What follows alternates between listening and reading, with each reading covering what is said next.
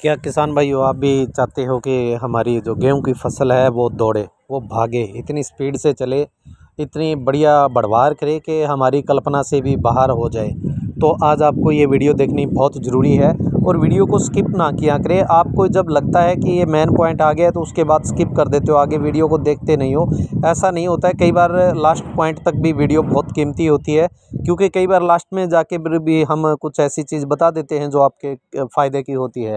तो किसान भाइयों, आज हम इसके ऊपर विस्तारपूर्वक चर्चा करेंगे कि गेहूँ की फ़सल को कैसे दौड़ाएँ। चलते हैं, इसके ऊपर बात करते हैं। मैं हूँ एल आर चौधरी। आप देख रहे हैं खेती डिस्कवरी। प्लीज़ वीडियो को लाइक एंड शेयर ज़रूर कर दें। किसान भाइयों, अगर गेहूँ को दौड़ाने की बात करें, गेहूँ को भगाने की बात करें बात करें कि गेहूँ की फ़सल इतनी अच्छी चले कि देखते ही देखते हफ़्ते दस दिन में बहुत अच्छी बढ़वार उसकी हो जाए अच्छा उत्पादन आए तो आपको तीन चीज़ें ज़रूरी नोटिस रखनी चाहिए। किसान भाइयों, गेहूँ में हम क्या करते हैं कि बहुत सारे फर्टिलाइज़र खादें जो है ऊपर डालते जाते हैं, उसके बावजूद हमारी फ़सल बढ़वार नहीं करती है। कई बार बहुत सारे फंगीसाइड भी हम कर देते हैं, लेकिन फिर भी वो बढ़वार नहीं कर पा रही होती है। इसके कई कारण हो सकते हैं। किसान भाइयों, अच्छे उत्पादन के लिए, अच्छी बढ़वार के लिए हमने तीन चीज़ें नोटिस रखनी है। सबसे ज़रूरी होता है कि उसके अंदर समय समय के ऊपर पानी की सिंचाई होना ज़रूरी। सिंचाई की कमी नहीं होनी चाहिए और पानी अति अधिक भी नहीं लगाना चाहिए। दूसरा मेजर पॉइंट होता है, उसके अंदर फर्टिलाइज़र की खादों की जो है मिश्रण की सही उपयुक्त मात्रा दे देना।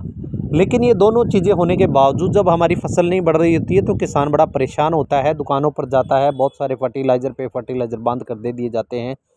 लेकिन जो मेजर तीसरा पॉइंट है, उसकी हम बात करेंगे। यही पॉइंट वो होता है जो आपकी फ़सल की बढ़वार नहीं होने देता है। किसान वायु वो होती है रूट के अंदर, जड़ों के अंदर फंगस और दिमक।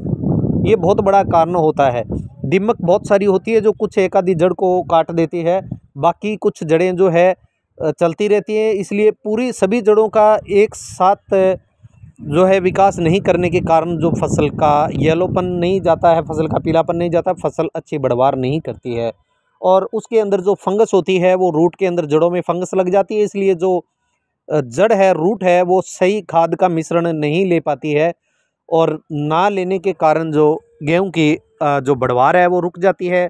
गेहूँ में पीलापन जो है, वो कंटिन्यू बना रहता है। आप बहुत सारे ऊपर छिड़काव करते हो, फिर भी वो जो पीलापन है आपका नहीं जाता है, सारा कुछ करने के बावजूद।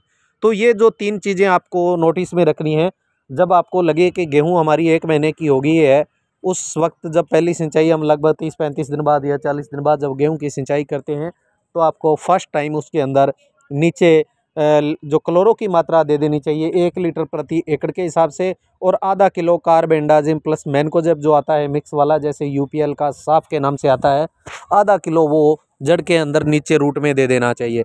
उसके बाद आप खादों की मात्रा जो कंटिन्यू देते रहें, जैसे नाइट्रोजन है जो फास्फोरस है डीएपी है सल्फ़र है जिंक है, इनकी मात्रा भी देनी बहुत ज़रूरी होती है अच्छी बढ़वार के लिए। दूसरी सिंचाई के बाद जो तीसरी सिंचाई होती है, उस समय आपने फिर यही चीज़ एक बार फिर रिपीट करनी है। एक लीटर क्लोरो रूट में नीचे दे दें और आधा किलो कार्बेंडाजिम प्लस मैनकोजेब नीचे रूट में जड़ों में दे देंगे और कंटिन्यू जो फर्टिलाइज़र की मात्रा देते रहेंगे तो देखेंगे कि आपकी फ़सल दिन और रात किस प्रकार बढ़ रही है।